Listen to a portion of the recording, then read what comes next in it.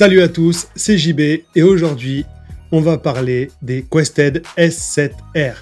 Voilà, alors ça va être une review un peu particulière parce qu'on ne peut pas faire de test audio avec des enceintes, mais je vais vous expliquer un petit peu le fonctionnement des enceintes, leurs caractéristiques et un peu euh, comment je les ai trouvées, savoir euh, leurs points forts, leurs points faibles et euh, vous expliquer pourquoi je les ai choisis.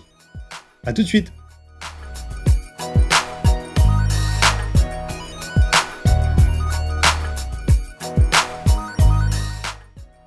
Au départ, j'avais prévu de vous parler euh, des, spécifications, du fait qu'elles sont fabriquées euh, à la main par une équipe et tout ça. Et euh, je m'étais rendu compte que ça faisait un peu trop, un petit peu comme toutes les reviews sur les enceintes qu'on peut voir un peu partout. Donc là, j'ai décidé de vous parler surtout de mon ressenti par rapport à ces enceintes. Alors, euh, et surtout en parler in-news à peu près ce que ça, ce que ça peut donner. Alors, vu qu'on peut pas vraiment faire de test euh, audio par rapport euh, aux enceintes, donc là c'est clair que ça va être un peu différent des reviews d'habitude. Donc, pour moi en fait, ces enceintes sont, sont, vraiment cool pour le mix. Elles sont vraiment très neutres en fait.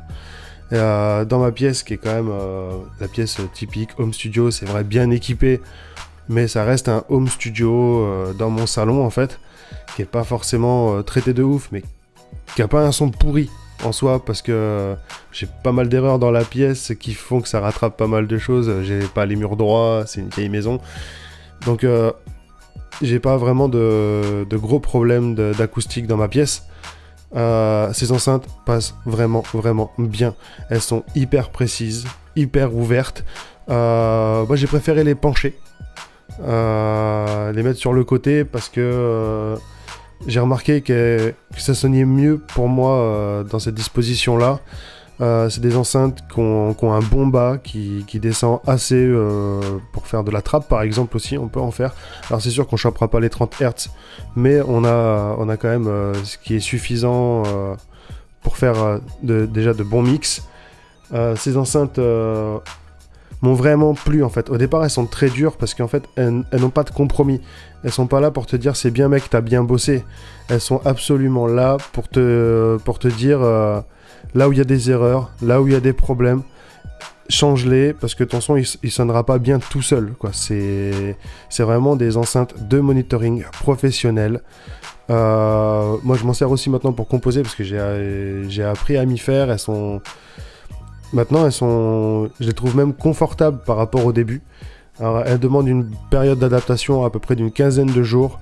Mais euh, pour moi, c'est vraiment euh, des enceintes qui restent un must-have, surtout pour le prix. Euh, et c'est vrai que c'est un budget. Mais franchement, franchement, après avoir testé des BM5K et des PMC, j'ai vraiment choisi les Quested pour ça. Et c'est celle que je garde, quoi.